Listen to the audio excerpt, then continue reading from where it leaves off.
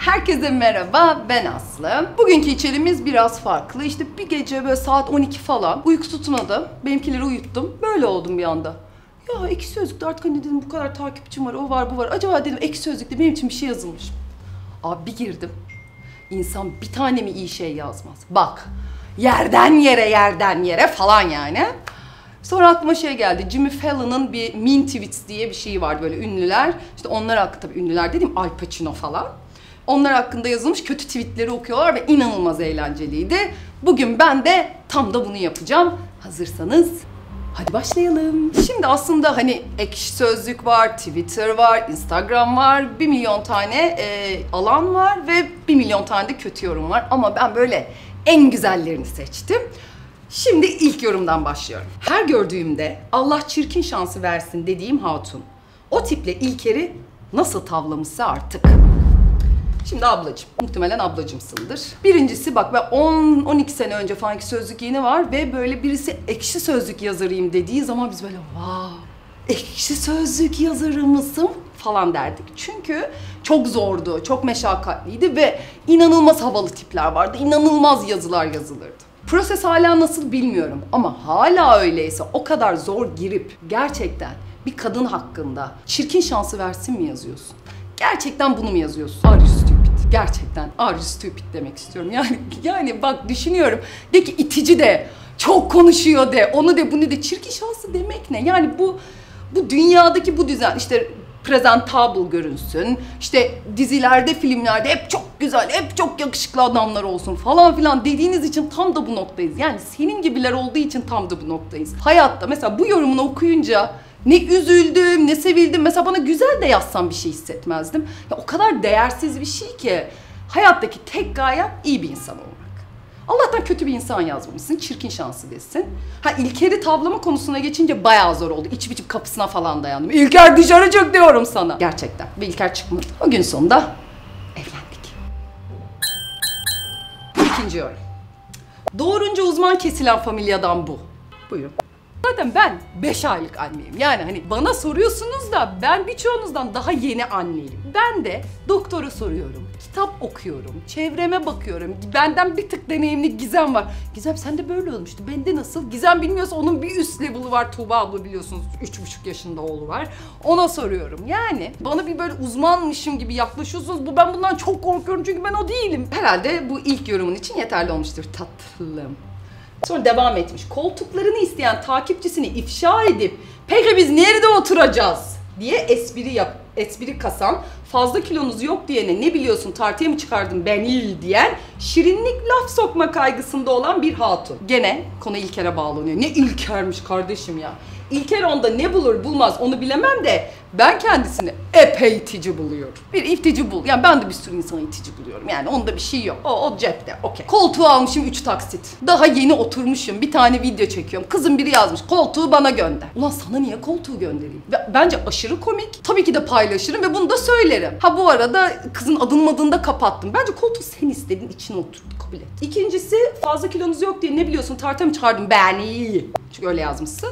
Öyle bir şey demedim. Onu başka birisi, birisiyle karıştırıyorsun. Çünkü o dönemde e, 15 kilo fazlam vardı ve kızlar ben bu kiloları nasıl vereceğim ya? Bir yemek istiyorum falan diyordum ablacığım.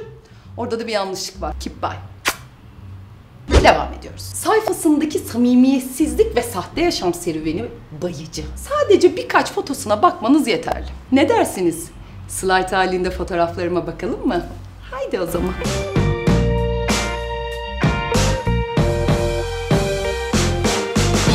Bak. Bu benim en sevdiğim, en bomba. Yani gerçekten en bombası bu.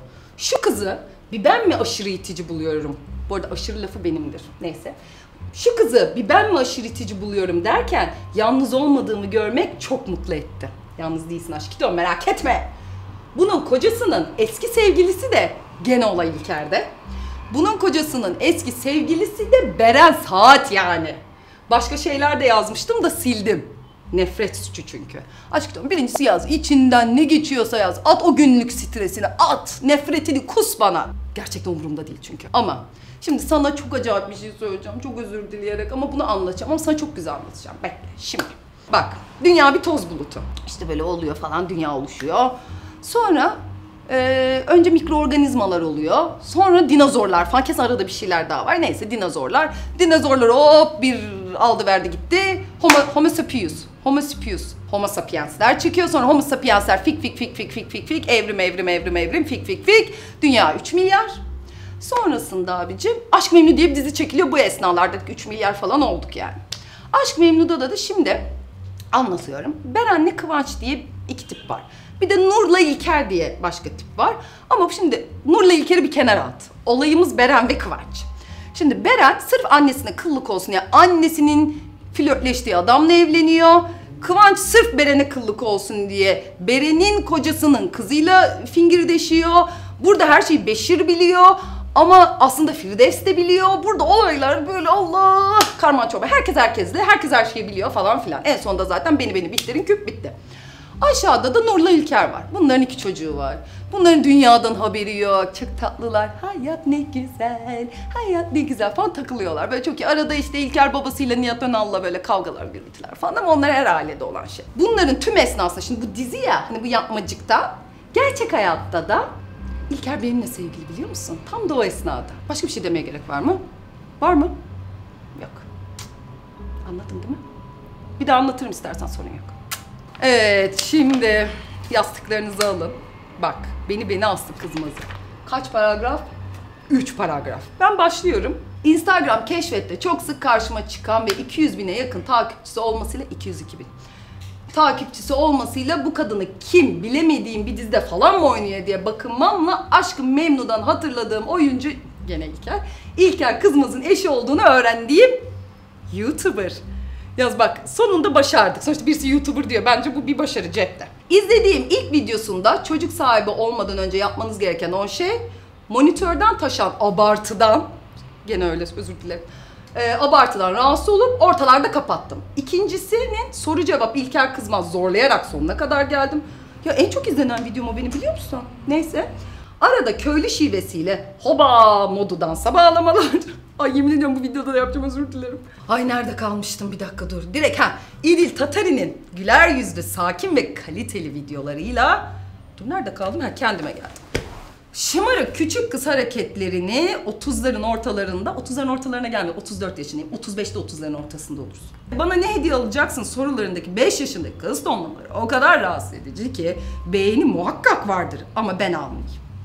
Bence de. İlker Baby Beyler. Hello ironi. 90'lar reality şovlarından fırlamış büyük anons yapıyorum sonuçları. Sana bir şey diyeceğim. Ben 90'larda radyo programı yapıyordum biliyor musun? Bizim efem. Star Radyo. İşte Çorlu'da bir tanesi, bir tanesi de Eskişehir'de. Vallahi bak. Beyaz'da biz aynı dönemde radyo şovu yapıyorduk. Beyaz nerelere geldi, ben nerelerde. Neyse. Acun'un eski karısı için bile fan sayfası açılan, parantez içinde ciddiyim.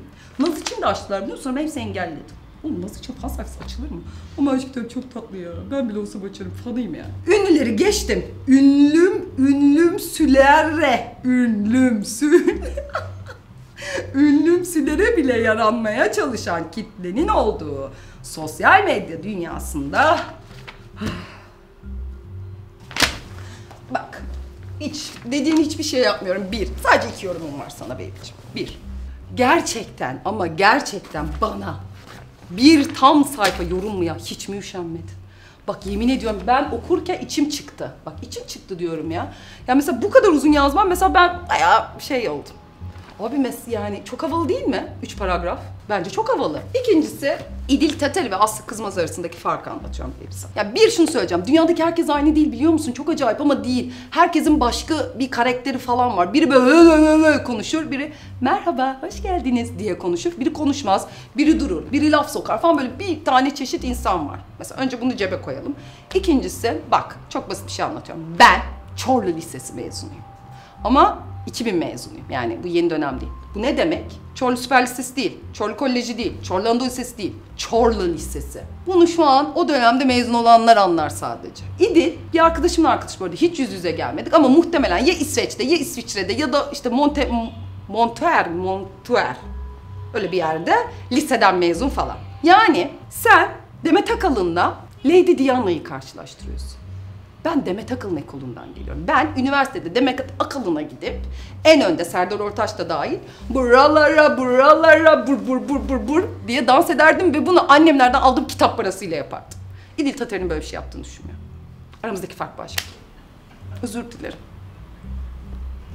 Şimdilik bu tatlı, bu kalpten, bu güzel yorumlara bir son veriyoruz. Çünkü bu videodan sonra büyük ihtimalle bunlar böyle bir yüze katlayacak. Ya herkes hakkında her şeyi yazabilirsin. Dijital dünya bu işte. İstediğin her şeyi yapabilirsin. İstediğin kadar yüksek olabilirsin. İstersen olmazsın. İstersen birine küfür edersin. İstersen birini çok sevdiğini söylersin. Olay zaten bu babyler. O yüzden çok kasmamak lazım.